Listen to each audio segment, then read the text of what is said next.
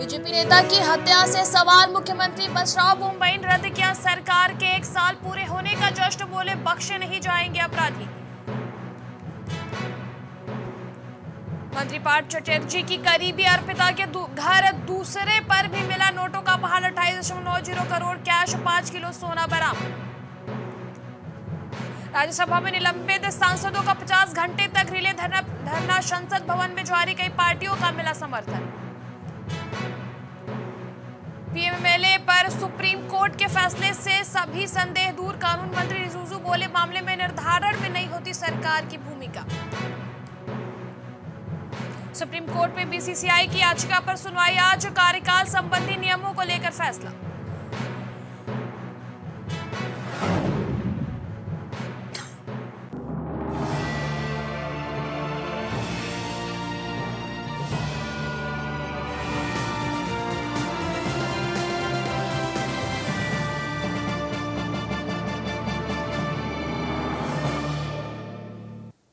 नमस्कार, मैं हूँ त्रिशला यादव, आप देख रहे हैं प्राइम टीवी उत्तर प्रदेश की सियासत में से बड़ी खबर सामने आ रही है। जब यूपी बीजेपी के प्रदेश अध्यक्ष स्वतंत्र देव सिंह ने अपना इस्तीफा दे दिया, उन्होंने अपना इस्तीफा भारतीय जनता पार्टी के राष्ट्रीय अध्यक्ष जेपी नड्डा को दिया।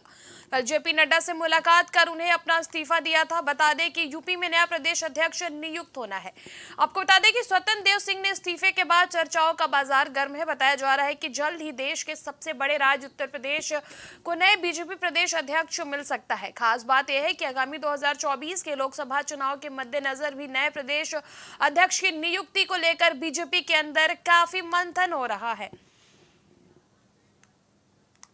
तमाम अटकलें लगाई जा रही है कि स्वतंत्र देव सिंह के बाद अब यूपी बीजेपी का नया अध्यक्ष कौन होगा? किस नए दौरे पर, चेहरे पर अब बीजेपी दाव खेलेगी? 2024 को मद्देनजर रखते हुए क्या बीजेपी 24 को साधने के लिए ऐसे किसी चेहरे को अध्यक्ष बनाएगी या फिर पार्टी से ही किसी को ये पूरी ज़िम्मेदारी मिलेगी। वह इस खबर पर अधिक जानकारी के लिए संवाददाता सागर थापा हमारे साथ जुड़ चुके हैं। सागर बीजेपी अध्यक्ष जेपी नड्डा ने अपना इस्तीफा दे दिया है। वही अगर बात किया जाए नए अध्यक्ष की तो क्या खबरें सामने आ रही है? किसको अध्यक्ष बनाया जा सकता है? क्या चौबीस को साधने के लिए बीजेपी किसी ऐसे चेहरे को मैदान में उतारेगी? कि जो सतनदेव सिंह है बीजेपी की बहुत ही मज़बूत कड़ी माने जाते रहे हैं और शुरुआत से मज़बूत कड़ी आज भी थे और कल भी है। उन्होंने कल अपना इस्तीफा सौंप दिया है क्योंकि उनके पास तीन तीन बड़ी जिम्मेदारियाँ थी। एक तो वो कैबिनेट मंत्री हैं, जल शक्ति मंत्री हैं, ऊपर से विधान परिषद के सदन नेता, ऊपर से तीसरी बात यूपी के प्रदेश अध्यक्ष थे तो उन्होंने अपना इस्तीफा खुद ही जेपी नड्डा को सौंपा है। और दूसरी बात यह है कि चित्रकूट में एक भाजपा की बहुत बड़ी संगठन की बातें चल रही है तो वहीं से 29 से 31 जुलाई के बीच आपको बता दूँ कि भाजपा के नए प्रदेश, यूपी के प्रदेश अध्यक्ष का बहुत ही बड़ी, बहुत ही बड़ा, जल्द ही नाम का खुलासा हो सकता है और सबसे बड़ी बात महत्वपूर्ण ये बात है कि इसमें कई नाम चल रहे हैं। एक तरफ़ ओबीसी दौर भी है, ओबीसी वर्ग भी है, और दूसरी तरफ़ ब्राह्मण वर्ग है, जाटव वर्ग है, तमाम ऐसे वर्ग है।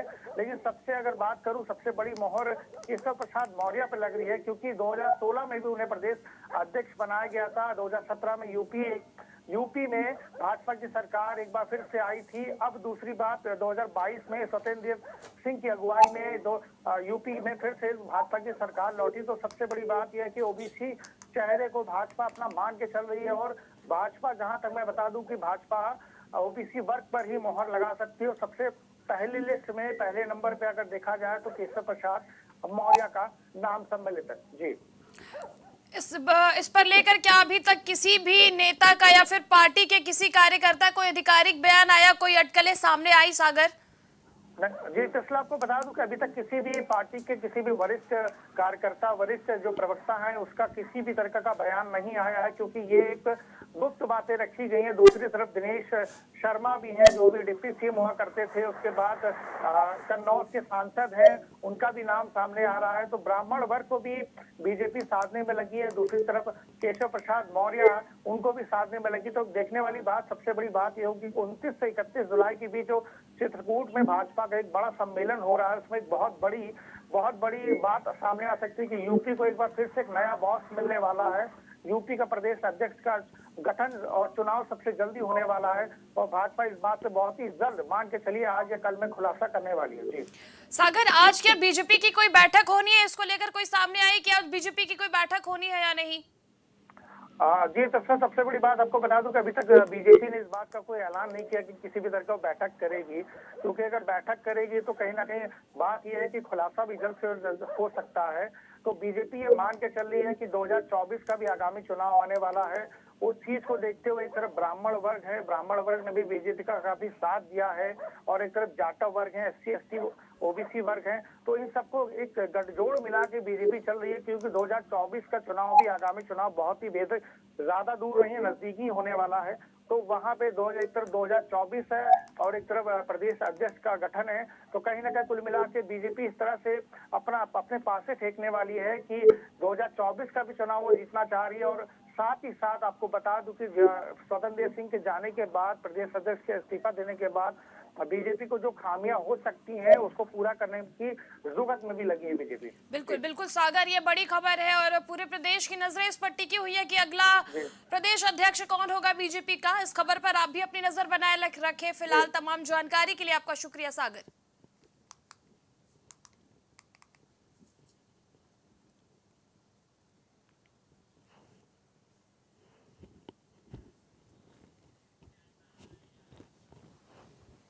शाहजहांपुर में उत्तर प्रदेश मदरसा शिक्षा परिषद का सेकेंडरी और सीनियर सेकेंडरी की परीक्षा फल घोषित किए गए, जिसमें मदरसा निरुल हुदा बिजलीपुरा का परीक्षा फल शत प्रतिशत रहा। सेकेंडरी में छात्र यान ने चौहत्तर प्रतिशत नंबर पाकर प्रथम स्थान प्राप्त किया। वही छात्र नाजिया और शाहिदा प्रवीण ने क्रमशः तिहत्तर प्रतिशत नंबर पाकर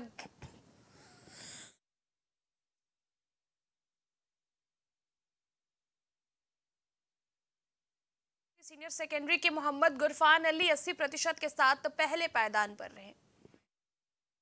शिक्षा परिषद द्वारा संचालित सेकेंडरी एवं सीनियर सेकेंडरी का रिज़ल्ट घोषित किया गया है, जिसमें हमारे सेकेंडरी में 24 बच्चों ने एग्ज़ाम दिया था। 24 बच्चे ही हमारे जो हैं पास हुए हमारा रिज़ल्ट 100 परसेंट रहा है। और सीनियर सेकेंडरी में 22 बच्चों ने एग्ज़ाम दिया था, बाईसों बच्चे हमारे पास हुए हैं। सभी बच्चे अच्छे मार्क्स से पास हुए हैं और इसके लिए हम अपने पूरे स्टाफ को बधाई देते हैं कि हमारे स्टाफ ने बड़ी मेहनत के साथ इन बच्चों की तैयारी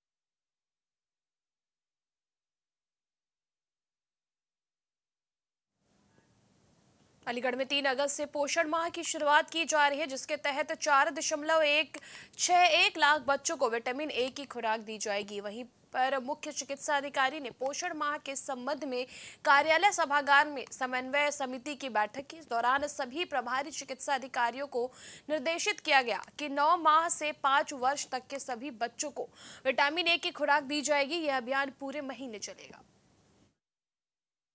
आज बाल स्वास्थ्य पोषण माह जिसमें नौ माह से उनसठ माह के बच्चों को विटामिन ए की संपूरक खुराक पिलाई जाती है। उसको लेकर एक बैठक की गई थी, जिसमें आईसीडीएस और स्वास्थ्य विभाग के द्वारा जो है सभी बच्चों तक वाइटामिन ए खुराक पिलाने का अभियान चलाया जाएगा, जिसमें हम अपने जनपद अलीगढ़ में चार लाख बासठ हज़ार बच्चों को विटामिन ए खुराक पिलाने का लक्ष्य मिला है। और हम अपने जो Chhaya V H S N D सत्र हैं, जिसमें हम बच्चों का टीकाकरण करते हैं तो टीकाकरण के साथ साथ बच्चों को विटामिन ए की अतिरिक्त खुराक पिलाने का कार्यक्रम भी होगा। साथ ही साथ आयरन फोलिक एसिड की सिरप का वितरण भी होगा। इसके अलावा आयोडीनित नमक के प्रति समुदाय में जागरूकता पैदा करना अलीगढ़ में चौराहा सब्ज़ी मंडी के पास राजा कॉस्मेटिक की दुकान पर हिंदुस्तान यूनिलीवर की लीगल टीम ने छापेमारी की, जिसे पाँच सदस्यीय टीम ने क्षेत्रीय पुलिस की मदद से कार्रवाई करते हुए करीब तीन से चार बोरी भरकर नकली सौंदर्य का सामान ऊपर कोट कोतवाली लाया गया, जहाँ पर करीब तीन से चार घंटे की कार्रवाई के बाद हिंदुस्तान यूनिलीवर कंपनी की तरफ़ से आई हुई। नयनतारा डेमी ने पत्रकारों से किसी भी प्रकार की जानकारी साझा करने से मना कर दिया।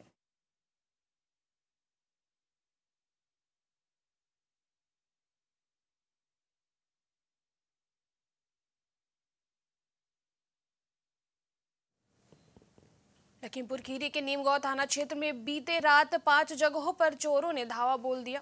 नकदी समेत हज़ारों कमाल पर हाथ साफ़ कर दिया। सूचना पर पहुँची पुलिस ने मौके पर मुआयना किया। जानकारी के मुताबिक पुलिस रोज़ाना इलाके में गश्त करती है, फिर भी चोरी की घटनाएँ नहीं थम रही हैं।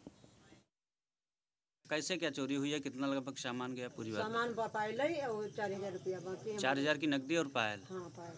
और कैसे घुसे हैं घर में? अब घुसे सेंध काटी नहीं। शेन काट करके घुसे हैं। अच्छा और कौन कौन था यहाँ पे? अब यहाँ हम सोच रहे जाने पाए होते तो कैसे भी जाते जब हमको जाने नहीं पाए तो कहाँ बताइए सुबह जानकारी हुई है हाँ सुबह जब पेशाब गए हैं पर रात में उठे वो हम जान नहीं पाए। जान पाए होते तो कब वही चोरी करके रहते टायर टिप गए हैं चालीस टिप गए हैं और पंद्रह टायर गए हैं। क्या चोरी हुई है? हाँ चोरी में। कैसे घुसे हैं हम चोर? जाने नहीं मिला हम तो घर सो रह रहे हैं। अच्छा अच्छा। कुंडा तोड़ कुंडा तोड़ के उसे रहे लगभग कितने का सामान चुरा ले गए हैं? लगभग लगभग तीस हज़ार का है ये। तीस हज़ार रुपए का। क्या यहाँ पर रात में पुलिस गश्त वगैरह करने आती है?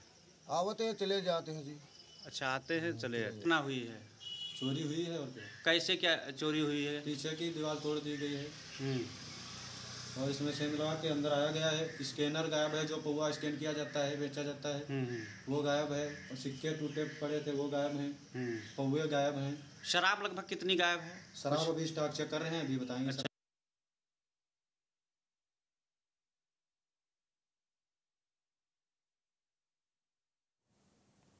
अलीगढ़ गांधी पार्क थाना इलाके में धर्म समाज महाविद्यालय में बंदरों ने आतंक मचा रखा है। बंदर को डराने के लिए एक लंगूर भी कैंपस में रखा गया, जिसे हर महीने नौ हज़ार रुपए सैलरी दी जाती है। जानकारी के मुताबिक अब तक दर्जनों छात्रों पर बंदर हमला कर चुके हैं, जिससे परेशान होकर प्रिंसिपल ने नगर निगम को पत्र लिखा है।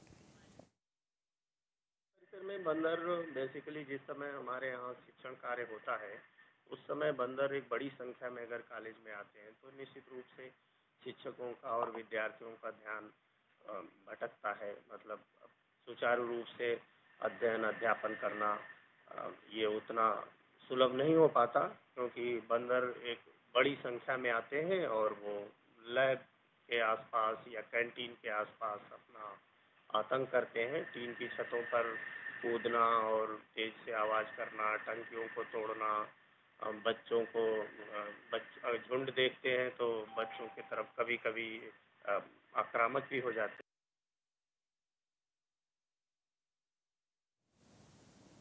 सोनभद्र में अनपरा पुलिस और स्वतंत्र माइक्रोफोनिक प्राइवेट लिमिटेड में हुई लूट के समर्थन में अंतर्राज्यीय गैंग के तीन लुटेरों को गिरफ़्तार किया है। पुलिस ने उनके कब्जे से लूट के चार हज़ार आठ सौ पंचानवे रुपए और एक पिस्टल, नौ और एक तमंचे के साथ दो ज़िंदा कारतूस बरामद किए, जिसके बाद पुलिस टीम को उप निरीक्षक ने पच्चीस हज़ार रुपए का पुरस्कार भी दिया।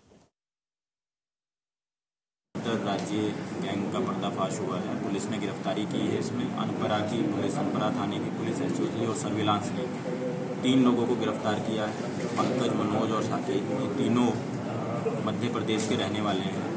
सिंगरौली क्षेत्र के और इनका पुराना भी लूट और चोरी का आपराधिक इतिहास है लंबा चौड़ा।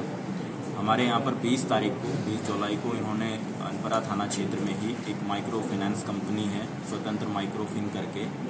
उसके जहाँ पे वो किराए पे चल रहा है, उसके अंदर घुस के इन्होंने अड़तालीस सौ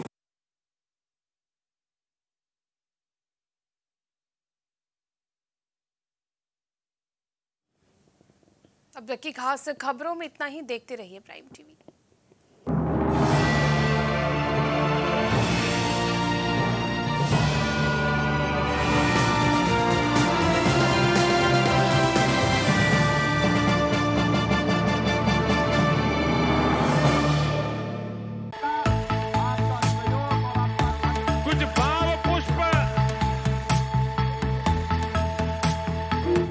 देख रहे हैं।